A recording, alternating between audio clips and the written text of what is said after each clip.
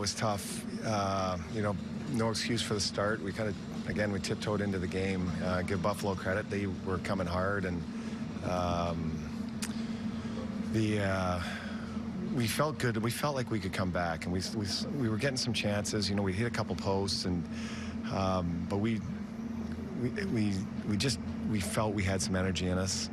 Um, you know, Sergachev gets in that fight there. I think that gave us a that gave us a a, a jump, but uh, you know we moved things around and. Um, you know, tinkered with the lines a little bit, but you know, the big one, you know, Killer getting us one. But I thought the big goal was Johnson's.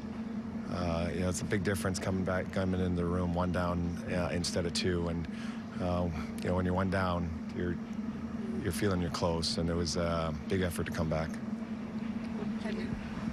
see from Sergachev, you mentioned the hit. He's upped his uh, physicality recently overall. What you see from him tonight and maybe the last few weeks?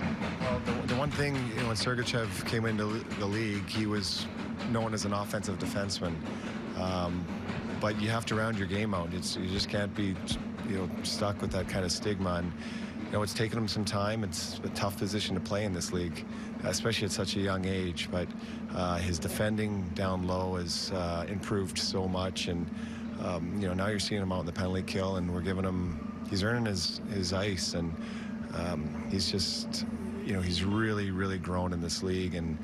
Um, you know, just becoming a, a, rock back there for us and made some big plays, you know, especially some of those block shots at the end there. It's a sacrifice you need uh, if you're going to win some of these games, and um, you know, really happy for him.